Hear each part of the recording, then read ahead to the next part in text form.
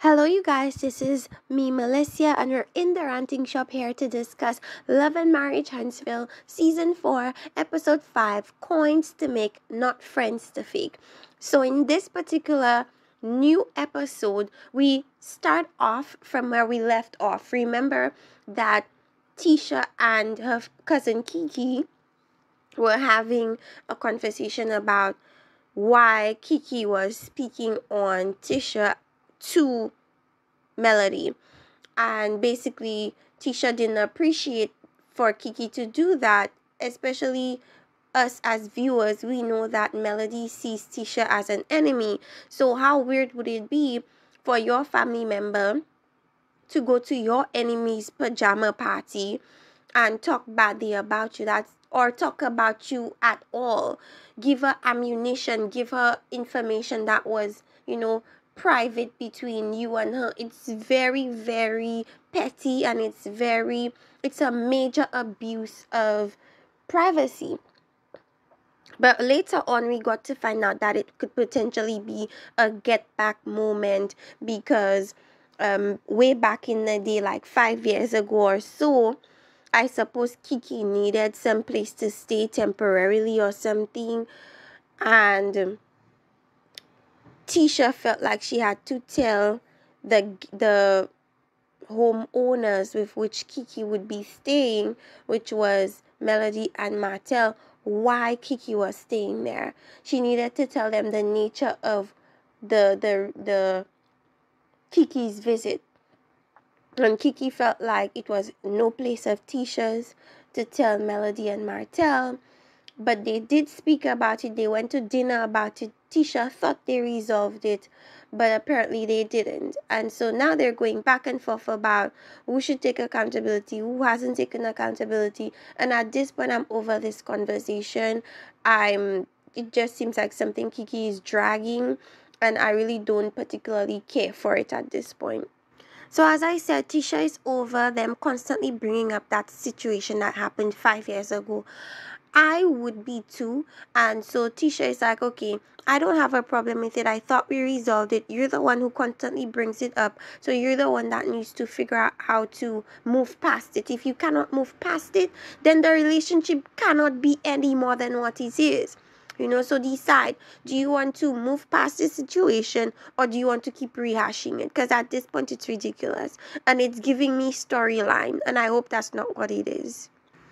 So Martell and Mr. Marsau to have a conversation and it of course starts off with okay the kids didn't show up to my book signing and um, if i were to ask melody she would say it's because it's her week and i've give i gave her enough time according to melody that's completely opposite of what he's saying to Marsau and i understand how it's it's an it's embarrassing. I understand why it would be embarrassing, but you know that your situation with your ex-wife is hostile. What made you think that she'd do you this favor and decide, okay, let me just forego my plans with the kids and allow Martha to have the kids? What makes you think she'd do that? Knowing the nature of your divorce is volatile, why wouldn't you err on the side of safety or caution and just do that when you had the kids? It's that simple. Like, I'm tired of talking about this situation. Martel is trying to make himself out to be this poor, guy that's trying to fight this monster over his kids when in the reality of things it's because of his poor foresight that this happened in the first place. And yes it's unfortunate and it's embarrassing but it's your doing. You did that to yourself. As far as what Marsau said about this is a classic example of people using the children as pawns. I don't necessarily feel as if Melody was using the children as pawns but I do feel as if she used them to kind of teach Martell a lesson that, hello, you're not going to get what you want all the time. I'm not going to be as flexible as you think I will be because I have things to do and it's courtesy for you to ask me before you just make a request and think I just bend and fold for you. So, in a sense, she used them or that scenario as a lesson to kind of teach Martell. When you do things, make sure you do it on your time and don't ask me for any favors because you won't be given any. I don't think they were used as a pawn, but I do think that Martell seemed to have been testing to see how flexible Mat- mm, Melody would be in regards to giving him the kids on demand when he wanted them, and it failed. And hopefully, you'll not do that again. And a lot of people are like on Team Martell because they make Martell seem like this sad dad, and they made Melody look like this monster mom. But it is what it is, and she's not right or wrong for what she she's not wrong I should say for what she did. I wouldn't call it wrong. A lot of people see it as Melody being vindictive and it was wrong, but I don't necessarily think it was wrong. I just think it was unfortunate that it ended up creating this uh, embarrassing scenario because it is the children's book. Martell speaks about his wine opening, his wine tasting thing in Atlanta, makes reference to the Atlanta boys trip, tried to clean it up and said it wouldn't be like that. It would be this um like more classy thing. Meanwhile, Marsau is like, yeah, it could be just like how it was the first time. Like Mel- Ma- Tisha trusts me and I trust her, and doesn't matter if I'm going to a club and married. Doesn't mean that I'm doing things that single people do. Oh my goodness. Sure, you do. Sure, you don't. Rumors have said otherwise, but, anyways. He said the opinion that matters the most to him is Tisha's, and Tisha wants to continue to act naive, so Martell Marsau is gonna continue to do what he wants to do. Martell wants to be invited back into the joint venture Scholt, which is a combination of the Holts and um, the Scotts. And now that they had the falling out and stuff like that, we know that Martell did something kind of underhanded that caused people, well, the Scotts to not trust him. So now that he wants back in, they have to figure out a way to kind of test him a bit before they fully trust him back into the company and so that's what they're gonna do and so that was the end of the conversation really. Martell said that he would also speak to maurice about that at another atlanta boys trip. I don't know how tisha is gonna take that. So kimmy and maurice talk about what kimmy experienced the night before with tisha calling her af- just after she had um, uh, conversation with her cousin Kiki about telling other people about their business. And so Kimmy was like, uh, letting her husband know that it's basically really ironic that they're arguing about the same thing that Tisha just now did by calling Kimmy. And Kimmy heard a whole bunch of things about their back and forth and Marsau feels like eventually it's gonna hit the fan because you're gonna both go to Wanda and you know how Wanda is and um it definitely will be a big blow up. We just have to wait to see how that unfolds. So Miss Destiny and Maurice speak and basically Destiny is in a very bad financial situation at this point.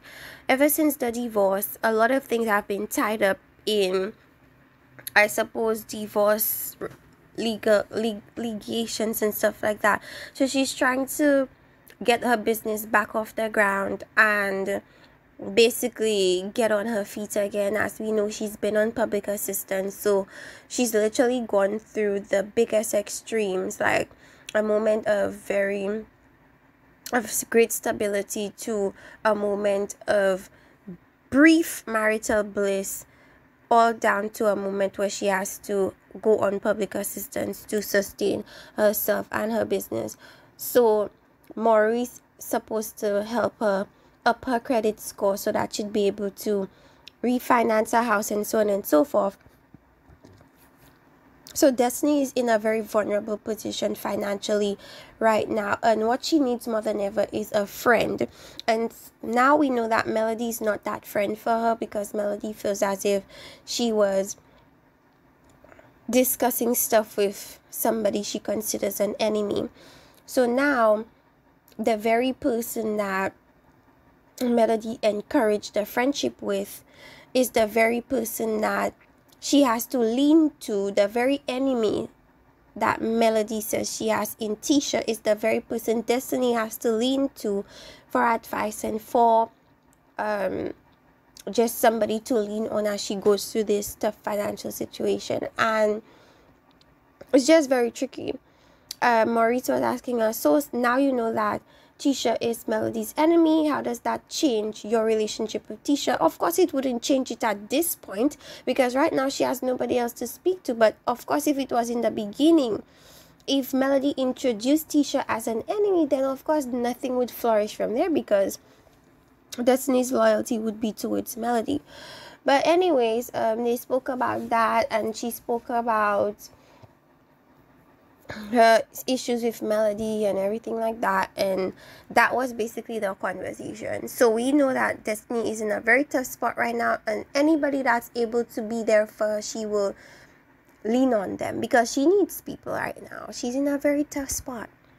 So Tisha and her husband Marsau talk about the situation with Martell and whether they should invite him back into the joint venture that was short now, as I told you guys before, Martell kind of burnt them a bit and did some underhanded stuff. So Tisha doesn't feel like she should really.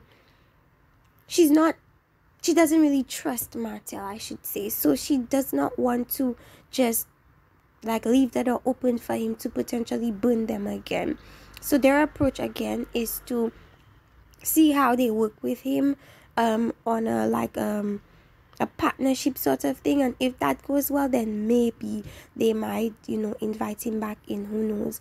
But i'm really happy to see that Marsau waited for Tisha's input before he decided to make a decision on Marsau maybe progress is being made.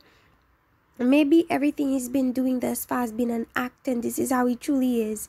I don't know. Maybe when it comes to business he's more willing to listen to his wife um, more so than in other regards. But either way, I was happy to see that he decided, let me go ask my wife first and then I'll get back to you. So I was happy to see that.